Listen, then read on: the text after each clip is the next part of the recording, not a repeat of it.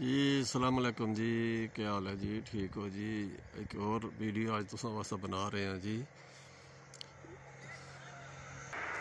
ਇਹ ਜਿਹੜੀ ਕਸਰੀ ਵੀਡੀਓ ਬਣਾ ਰਹੇ ਹਾਂ ਜੀ, ਦੇਖੋ, ਵੀਡੀਓ ਦੇਖੋ ਤੁਸੀਂ, ਮਾਸ਼ਾਅੱਲਾ।